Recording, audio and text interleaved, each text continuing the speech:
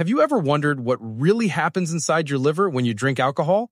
Most people think it just goes through, but what you're about to see will change how you think about every sip. So watch this video till the end. You might never look at alcohol the same way again. And don't forget to follow Health Engage for more science-backed health visuals. The moment you take a drink, alcohol enters your bloodstream within minutes. It flows straight to your liver, your body's main detox factory. Here, your liver cells, called hepatocytes, rush to break it down. They convert ethanol into a toxic compound called acetaldehyde.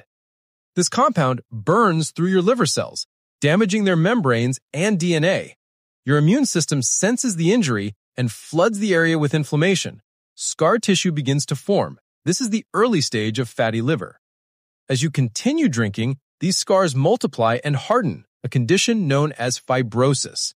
Over time, healthy cells die off, replaced by stiff, fibrotic tissue. Blood flow slows and your liver begins to lose its ability to filter toxins from your body.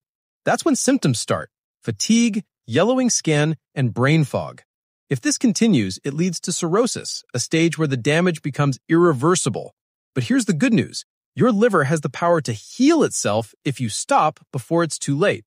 Within weeks, new cells begin to regenerate and inflammation starts to fade. So before your next drink, remember, your liver is quietly fighting for you every single day. My next video will reveal the five natural foods that help reverse liver damage.